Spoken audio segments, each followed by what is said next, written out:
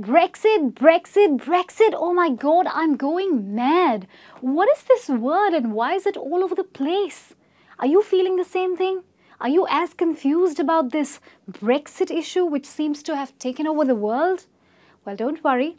We'll learn today about how you can understand what Brexit means and how you can talk about the Brexit issue in English.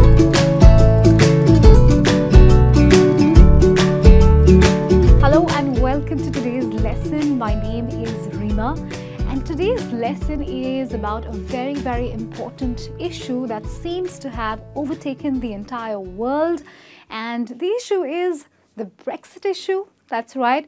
We're going to learn about how one can talk about Brexit in English.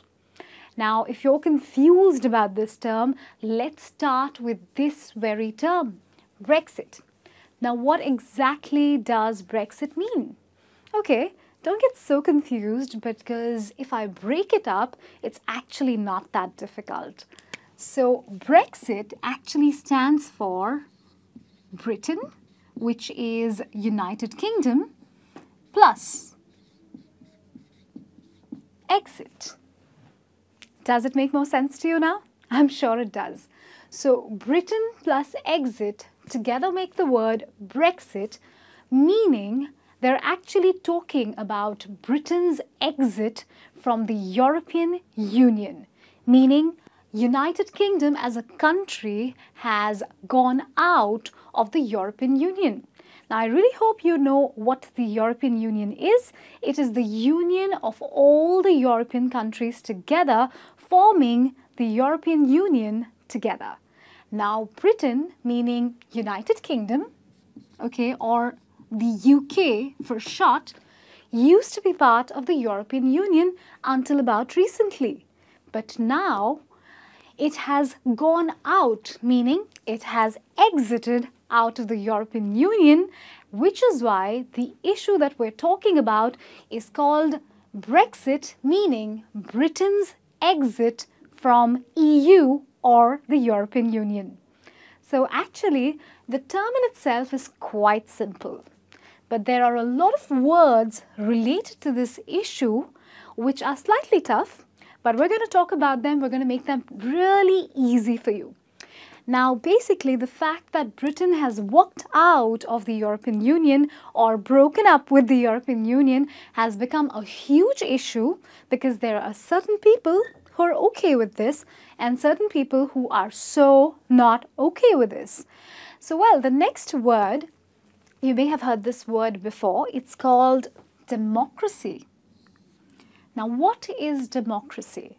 Democracy means the people's rule, okay?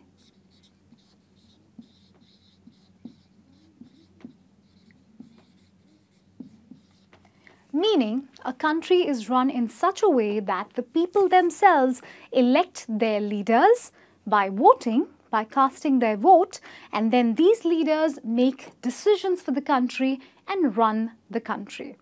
Okay, so basically the word democracy is very, very related to Brexit because Britain's exit from the EU was voted upon, meaning every single person in the United Kingdom was asked, are you okay with Brexit?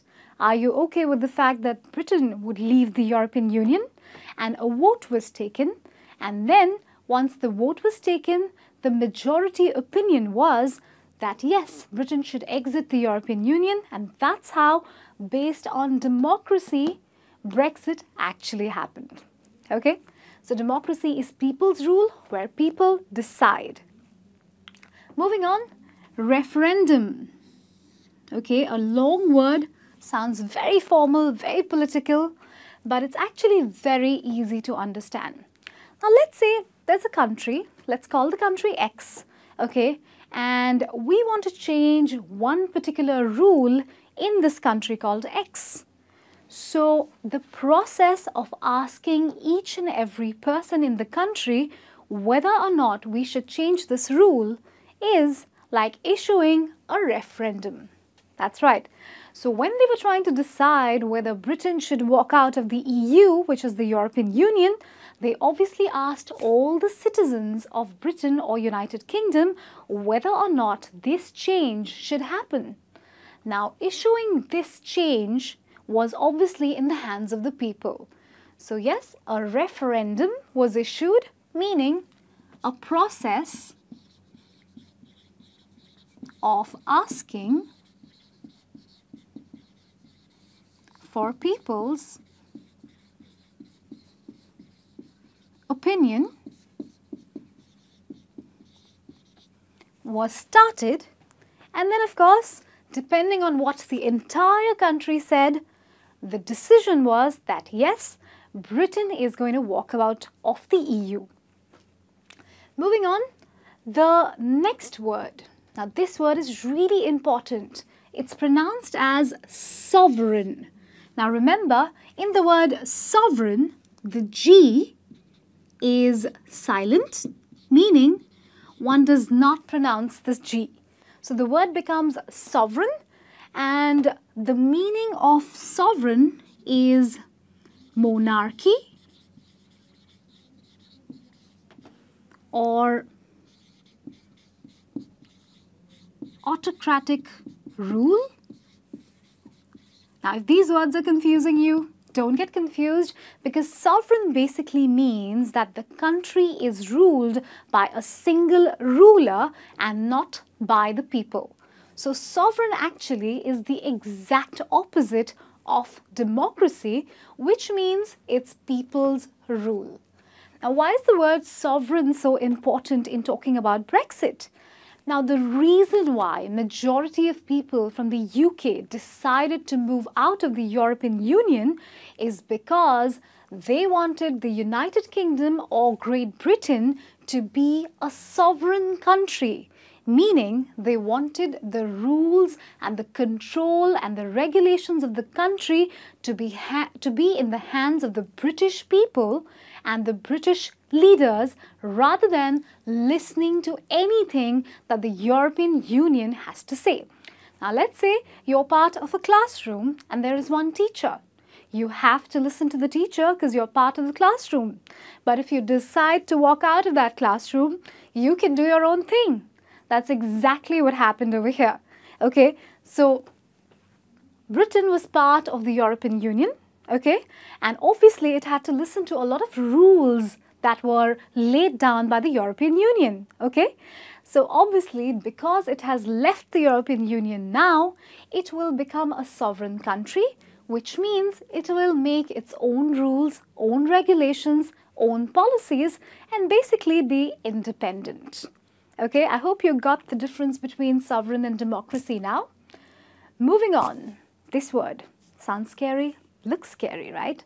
It's very easy actually. Plebiscite, okay? Plebiscite. Now, plebiscite actually means the same thing as referendum, okay? So, referendum and plebiscite actually mean the same thing, they are synonyms in English. They mean the process of asking for people's opinion.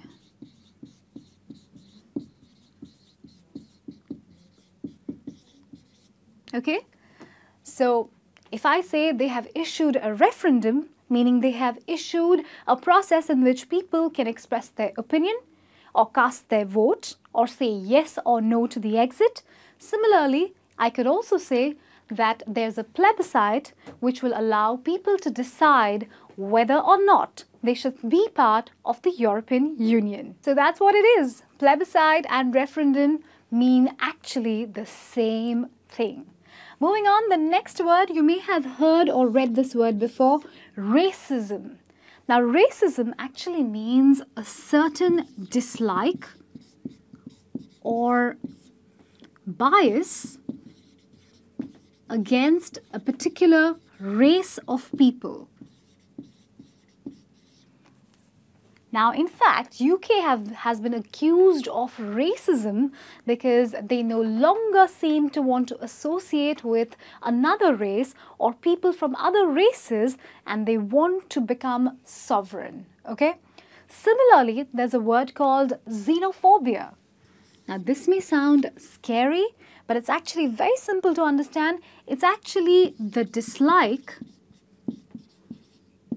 for a certain country. Meaning, say there's a country called X, it doesn't like a country called Y, that means the country X is practicing xenophobia. Once again, Xenophobia is another accusation towards UK because of their decision to exit the EU. Moving on, a very interesting term, unity ticket. Two words, very easy to understand. Unity means being together and ticket is basically something that gets you entry into some place. Okay, now how do we use these two words unity ticket together? Unity ticket actually stands for a group of people who are very powerful and who, who have a particular opinion. Now let's say there are people who, you know, have a problem against, say, wearing black, okay? So they will say, okay, let's all get together because all of us don't like the color black, okay? And then there's another group of people who want to make the color black, you know, very wearable, so these people who are against wearing the color black will get together and form a unity ticket against the color black. That's it. So unity ticket is actually a group of people standing against something.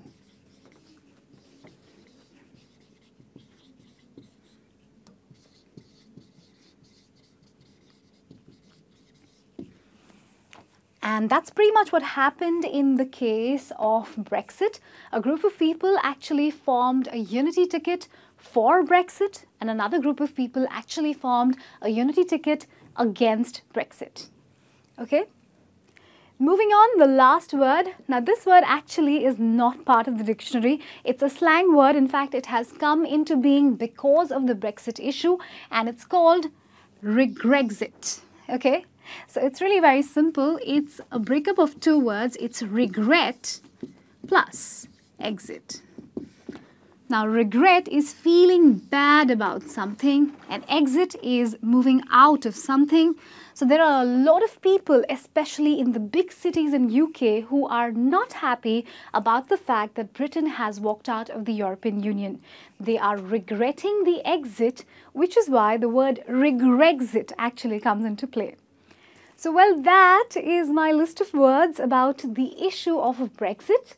I hope that I have been able to make these words really simple for you and the next time probably you're sitting in a cafe and people are probably discussing about Brexit, I hope that you're able to have a conversation on this issue in the English language. Well, I really hope you've enjoyed today's lesson and that I have been able to make Brexit a very simple issue for you and that now you will be able to have a conversation about this in English. Well, make sure you subscribe to our channel and keep enjoying our lessons. This is me, Rima, signing out, saying goodbye and take care.